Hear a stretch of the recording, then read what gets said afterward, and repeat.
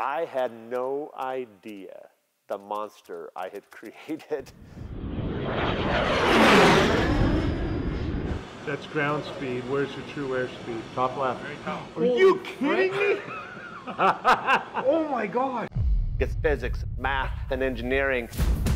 Machine it, draft it, build it, test it, break it.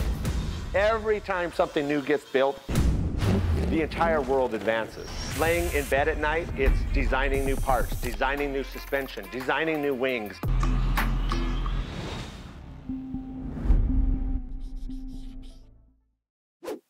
Turbulence from the start initial concept stayed really true in the engineering side, not so much true on the power plant side, jumping to a Dash 42 motor.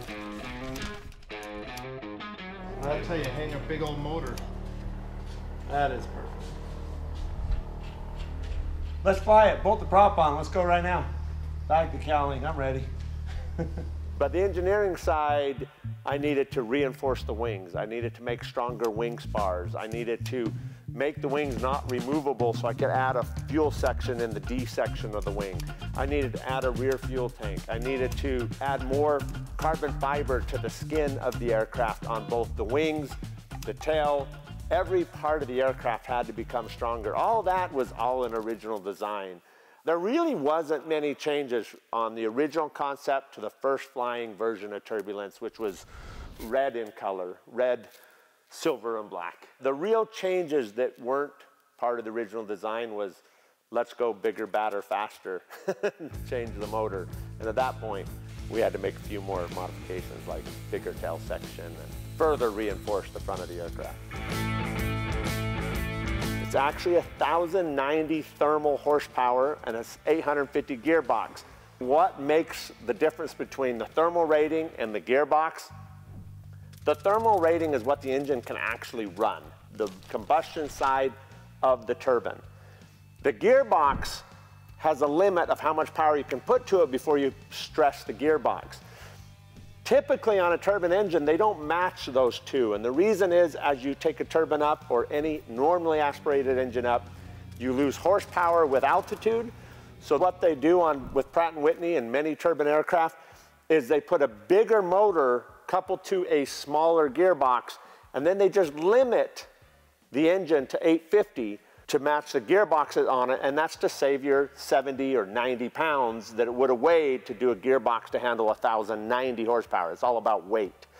And then they size that gearbox to where you will normally fly that aircraft. So if this aircraft was in a King Air and it normally flew 21 to 26,000 feet, which is typically where they're flying, what horsepower could it make at that altitude? Let's make sure the gearbox can do that, and that's how it's paired. So this aircraft is 1,090 horsepower. We don't use all the throttle on takeoff, and quite frankly, you couldn't. I still can't use all the throttle on this aircraft on takeoff. It will turn you off the runway. So you ease into it, and the faster you go, the more you can get as you get more and more aileron, rudder, and control surfaces up to speed. So it evolved into a Dash 42, 850 usable, and it will hold 850 into the flight levels.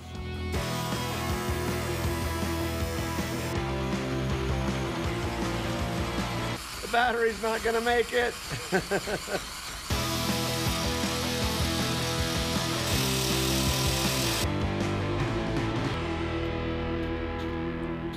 This ought to work. You can't just bolt the turbine engine on the front of an airplane and fly it away.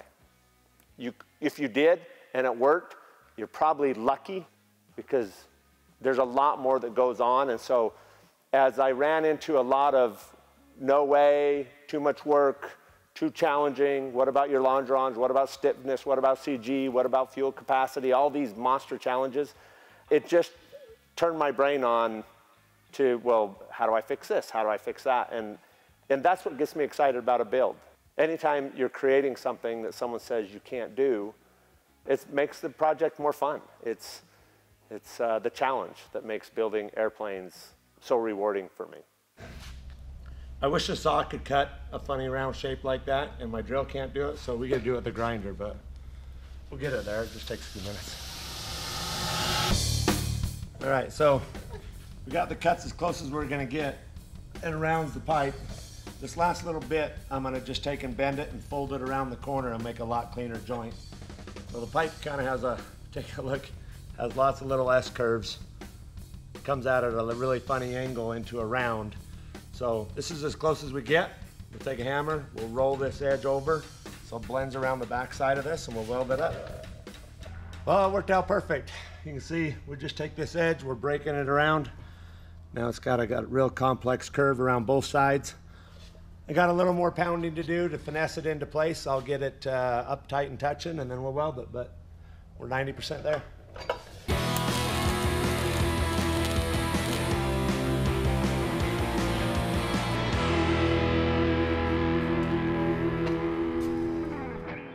All right, we're getting close.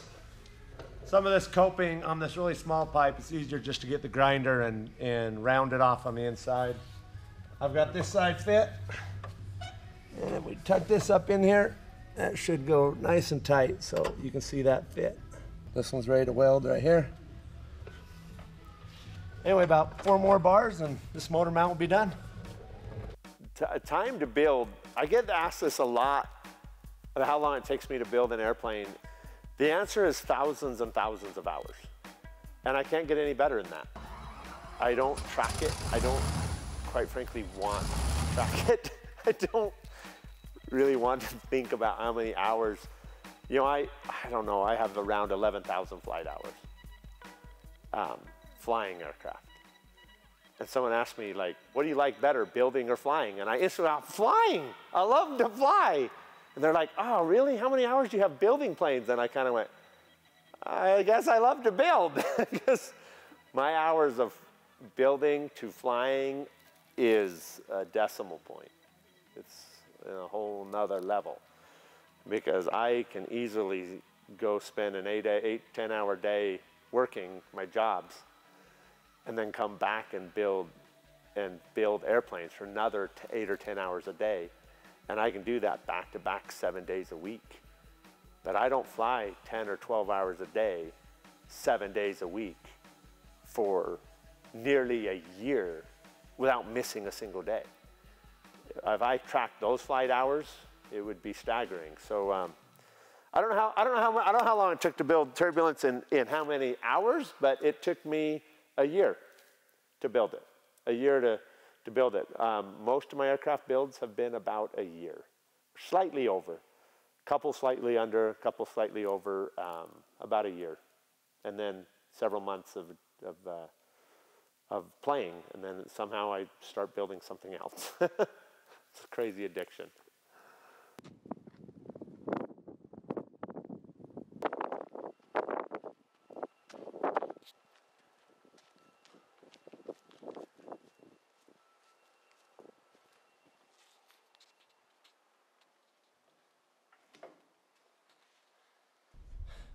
Like it was meant for the plane. Got it.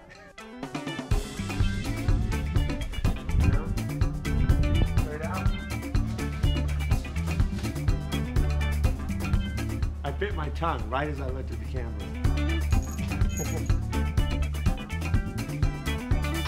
Let's fly it. Bolt the prop on. Let's go right now. If the motor falls down when I unhook this, I need to stop building airplanes.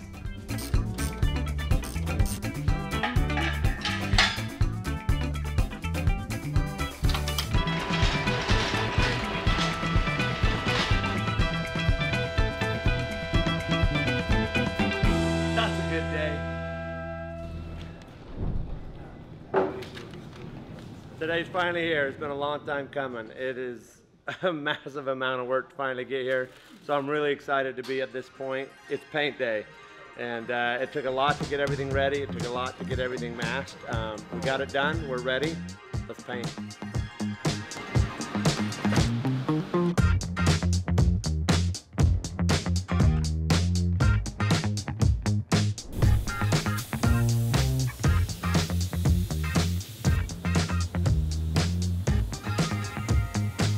This is one of the things we ended up doing to get this engine as high as possible. We had a problem with prop clearance. We put so much horsepower into this airplane, the prop couldn't handle it. So we had to get a bigger prop. The bigger the prop, problem was it was hitting the ground. So we raised all the gear, we raised the plane, But we also had to go one step further. We raised the engine up. So normally this engine would sit about this location in reference to the cowling. This is now the center location. To get the engine this high, we had to build a little adaption part right here. Underneath this hump is the control lever that runs the prop. So to change the prop RPM. So we wanted this as high as possible, so we actually made little adaptations so we could do that. I think it turned out really nice. The most important thing is I had a smaller prop on this and I had seven and a quarter inches clearance. I've now got a much bigger diameter prop and with that prop I now have 10 and 3 sixteenths inches. So I was down at about seven, I'm now at 10 and 3 sixteenths. So I've not only gone to a bigger prop, but I've grabbed more ground clearance. What that allows me to do is if my main strut were to blow out simultaneously while popping my front tire, both of them collapsed all the way. I would still have several inches of clearance from the ground so that if I had the most catastrophic event to the front end happen simultaneously, I still would keep that prop off the ground. So worked out really well.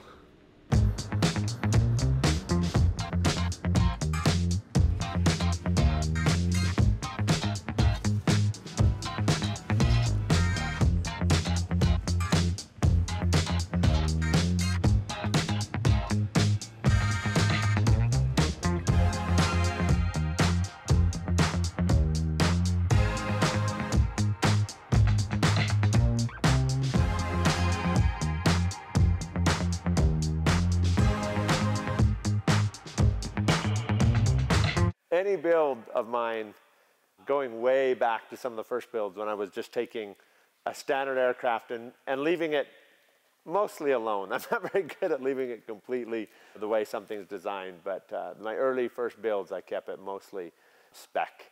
The first flight's always the one that makes you nervous. The first flight is the one that gets your heart pumping.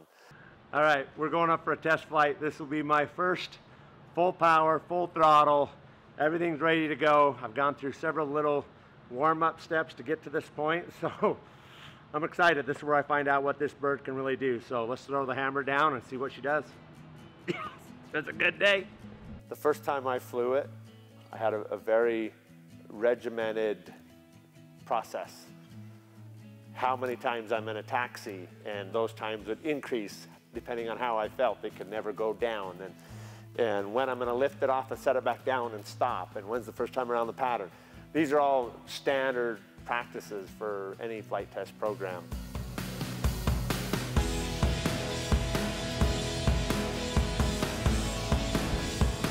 I've been test flying my planes and other people's planes for a long time.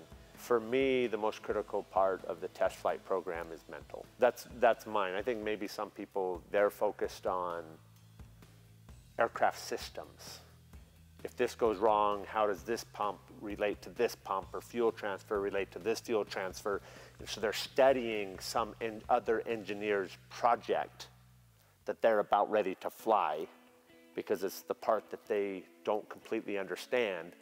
I, I couldn't study the plane anymore. I, I know every rivet, every piece of carbon, every fuel line, every fuel pressure, flow, capabilities, spinner to tail. And so I don't spend as much time on that because, um, you know, that's, that's my baby and I, I know it like the back of my hand. The mental side of knowing you're gonna lift off the ground and you got a family waiting at home, that's, that's where I spend my attention.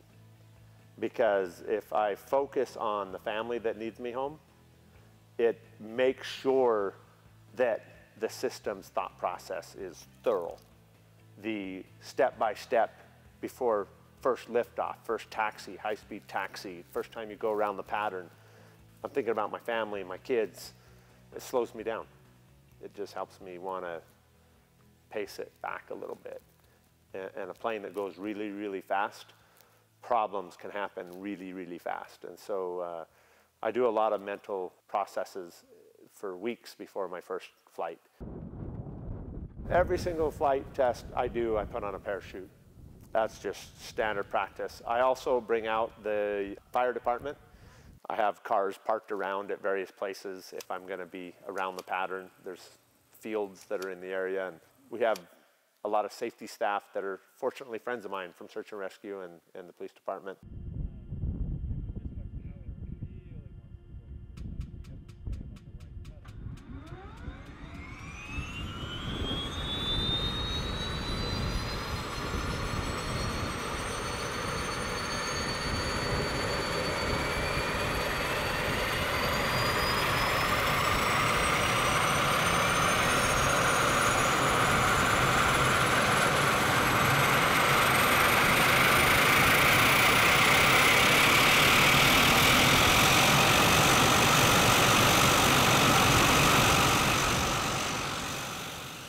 The taxiing for the first time and ramping up the throttle, that one, that one, that one was a rush because it, it was only after a few taxi tests doing the brake checks, speed checks, reverse calibration for the turboprop because you can go into reverse and make sure it's in the right location so that you actually could fly it and come around the pattern and slow down and not have it go in reverse and stall you, you know.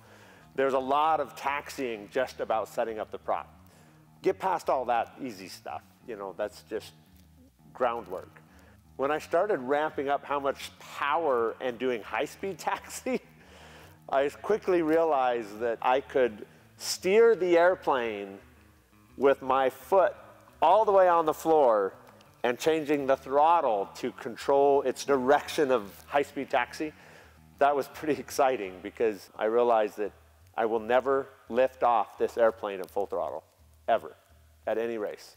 There's more power than you have controlled the handle. The first high-speed taxi was really fun. And then first flight, oh my gosh.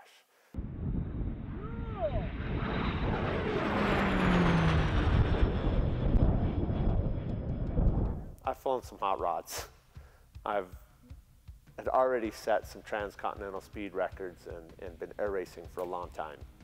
Um, the first time I got up and was able to continue the throttle up as I had control surfaces to do it. And my airspeed is just rocket shipping off the top as I'm pulling more and more deck angle. I had no idea the monster I had created until that first time getting it out and getting to start rolling the throttle up.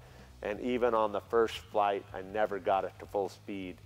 But I felt it going there and I looked how much needle was left and the airspeed I was doing and the deck angle it was holding. Um, that's when I knew I created something special, something that could smoke my jet. It could smoke anything I'd ever flown. I couldn't wait to go through weeks more of testing until I could see where that envelope really was.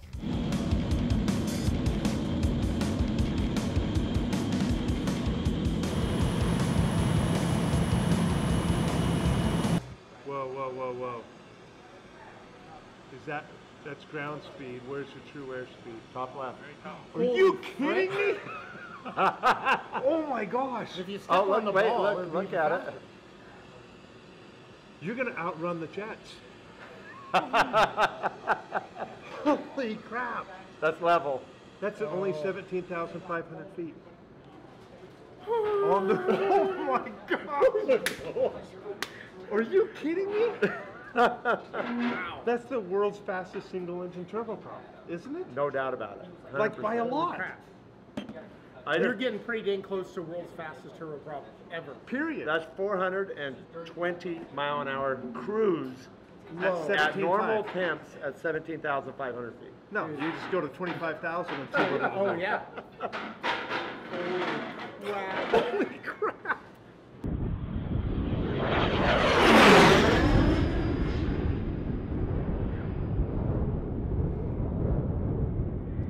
I used to allow a lot of people come to flight tests, and I don't anymore. Matter of fact, I, I have, I couldn't have swung more polar opposite. I used to have uh, uh, dozens and dozens of people that I didn't even know come to watch me do a flight test. I realized after a few of those that uh, I think it's a bad idea. I know other people may do it. I, whatever works for you is great, but I talked to other couple other um, well-known builders that have designed and built a lot of aircraft. Um, they have the same belief I do now that evolved over time, and you don't want anybody there. You want safety personnel, maybe your immediate family, the absolute criticals if things are going to go wrong, and that's it. And so for me, the safest thing is to have your head clear, 50 cameras pointing at you of strangers. As much as I'd like to think it doesn't affect me or any other test pilot, it does. It makes you not as safe as you could be. So that, that idea of the people you're around in aviation, especially after my Draco i- crash, It was before that, but it kind of carries along with the people that you are around in aviation.